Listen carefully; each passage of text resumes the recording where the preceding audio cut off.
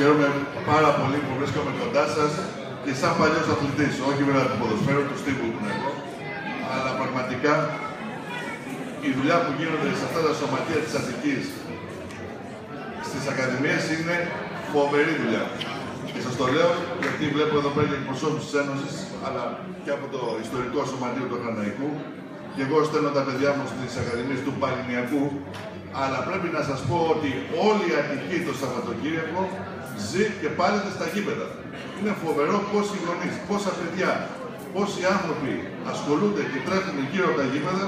Δεν το είχα καταλάβει κι εγώ, αλλά μόλις έστειλα το παιδί, το μικρό μου, ο οποίος έχει αυτό την τρέλα τη δικιά σας, κατάλαβα ότι χιλιάδες άνθρωποι ζουν αυτό το όνειρο, αυτή την ομορφιά. Να είναι κοντά μέσα στο γήπεδο, να είναι οι γονείς κοντά στα παιδιά στο γήπεδο, να είναι τα παιδιά, να είναι οι προπονητές, να είναι οι παράγοντες διοικητικοί και θα αφιερώσω αυτό το κομμάτι σε όλους εσάς με υγεία το 2015, να μην υπάρχουν τραυματισμοί και του χρόνου, τη νέα χρονιά, ο Χαναϊκός, αυτή η ιστορική ομάδα της Ελλάδας μας, να παίξει στην πρώτη κατηγορία. Να είστε καλά.